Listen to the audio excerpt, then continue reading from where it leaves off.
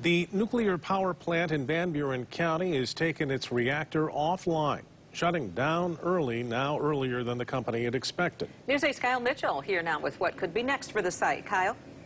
Soon, Brian, the Palisades nuclear power plant was scheduled to close by the end of May, but the company says it moved up the timetable as a precaution. After more than 50 years, the Palisades nuclear power plant along the shores of Lake Michigan is no longer producing electricity. There's no more risk of reactor core meltdowns. As soon as the nuclear fuel comes out of the core, there will be no more generation of high-level radioactive waste.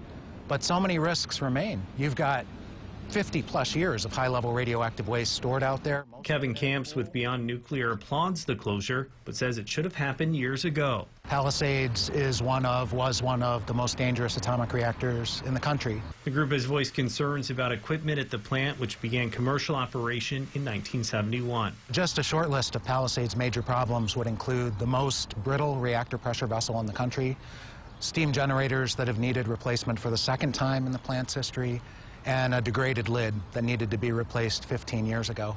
The company that owns the plant, Entergy, says an issue with the performance of a control rod drive seal is why the plant closed earlier than originally scheduled.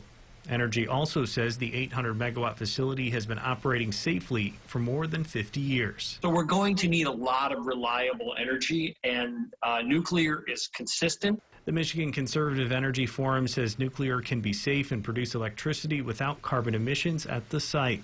The group supports Governor Gretchen Whitmer's plan to keep the plant open. It's an extremely long shot now. There's no question about that. Um, and if in the long term we can't bring Palisades back online, we should look at that location as an opportunity to bring new generation um, small modular reactors in onto that site.